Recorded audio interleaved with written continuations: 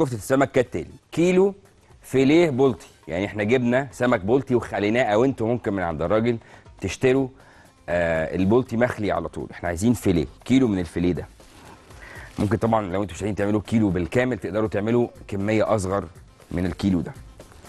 كوباية بصل مبشور وكوباية جزر مبشور كوباية بطاطس مبشورة ودي هتدي قوام حلو جدا وطعم حلو جدا. معلقتين شبت مفرومين ومعلقه توم مفروم ربع معلقة كمون معلقتين نشا ملح وفلفل أسود. طيب بعد كده عندنا طبقة خارجية. الطبقة الخارجية دي هي عبارة عن دقيق وبيض وبقسماط نفس طر- طريقة البانيه المعتادة. تعالوا بقى نشوف ده هيتعمل إزاي. هبعد عني بس دلوقتي كده إيه الدقيق والبقسماط وهودي معاهم البيض هناك. حلو. هاجي هنا. هاخد فردة جلوف كده ونشوف إزاي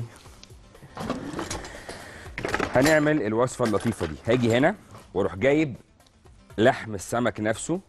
أحمد عايزني ابعد أبعد لك الشوربة دي شوية كده عشان تعرف تعيش حياتك. السلام يلا بينا. هاجي هنا في الإناء اللي قدامي ده وهاخد لحم السمك. لحم السمك المفروم. وبعدين هاخد رشة من الملح ورشة من الفلفل الأسود ورشة من الكمون مش هكتر كمون. وهحط التوم والشبت. بصوا بقى هعمل إيه. هاجي هنا كده هفرم ده وأحط بصل. يبقى أنا كده حطيت على لحم السمك. ملح وفلفل وكمون وشبت وبصل مفروم. دلوقتي هحط البطاطس بس قبل ما أحط البطاطس دي خطوة مهمة جدا. مش دي بطاطس آه، مبشورة؟ مهم جدا أروح عامل كده وعاصرها عشان ما تبوظليش الشوربة ما تبوظليش الكفتة عفوا. أروح عامل كده وعاصرها واخد التفل بس هاخد التفل اللي في ايدي ده بس. المايه اللي في ايدي الناحية التانية مش هستخدمها. أروح نازل كده هنا بالايه؟ بالبصل. بس كده تمام جدا. وارجع تاني أكمل خلط. هخلط كده زي ما أنا شغال. وأروح واخد الجزر كمان. و يلا أدي كده إيه خلطة أخيرة. طب هل أنا كده خلصت؟ لأ.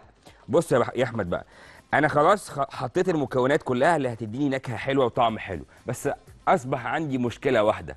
مشكلة إن الخليط غير متجانس. الخليط ده صعب التشكيل. بص كده. صعب إن هو يتشكل. فبعمل إيه؟ حط بقى إيه؟ رشة من النشا. ودي تقليبة هتلاقي الخليط مسك وبقى زي الفل. تحطي رشة نشا تخلي القوام يتجانس. بصي بعد ما حطيت النشا بقت كلها إزاي؟ كتلة واحدة. قبل ما أحط النشا ما كانتش كده. وما كنتش أقدر أشيلها بالشكل ده. فدي فايدة النشا هو ده اللي خلاني أحط النشا على العجينة دي عجينة كفتة السمك شايفين؟ وبعدين النشا مش باينة فيها لونها حلو جدا. تمام هنزلها هنا تاني كده خلاص.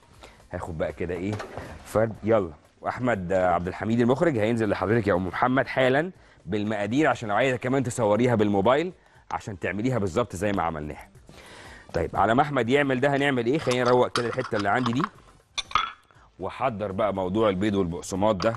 ونشوف هنعمل إيه بالظبط. هاجي هنا هروح واخد البيض حاطه في النص اخد الدقيق على الشمال والبقسماط على اليمين ونجيب بق صغيره من المية على البيض عشان نخفف اللزوجة بتاعته ونتبل كل حاجة بالملح والفلفل.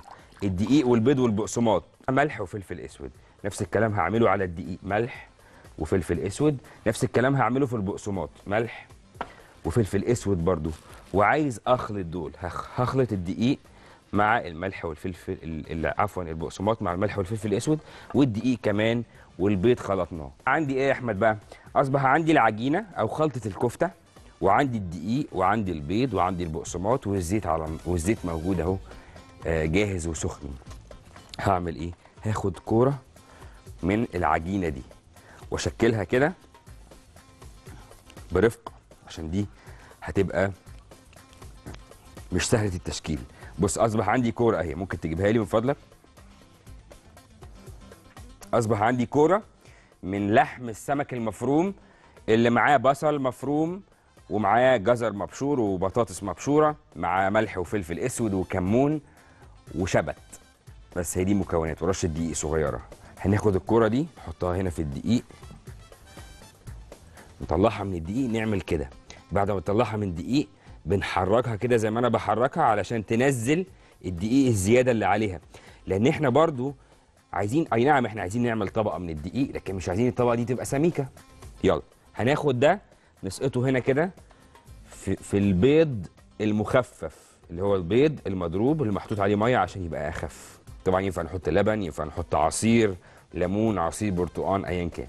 ناخد الكورة دي نحطها هنا في البقسماط وهكذا. بس هكرر بقى الخطوة دي مرات متعددة. يعني هعمل نفس الكلام ده كذا مرة لغاية ما أشكل عدد من الكرات. حط كرات الكفتة في الزيت.